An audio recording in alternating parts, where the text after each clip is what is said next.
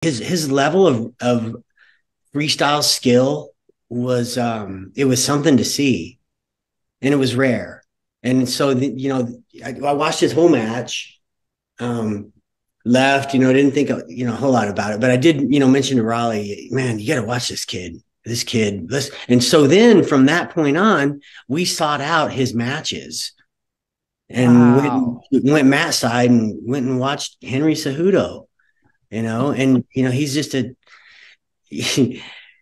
just a kid you know